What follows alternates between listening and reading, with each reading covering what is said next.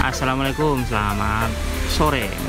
Atau mungkin udah dibilang petang di hari Selasa tanggal 21 September tahun 2021 langsung aja kita cek untuk hasil trading hari ini.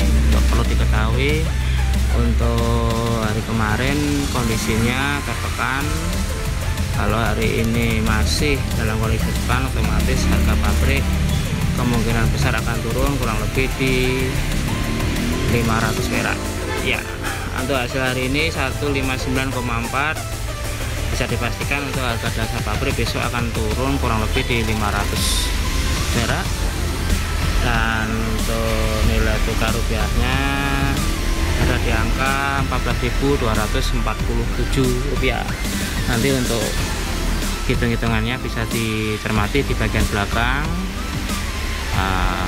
ini hanya sementara namanya trading adanya kata turun tapi untuk minggu ini awal minggu ini kondisinya tidak baik.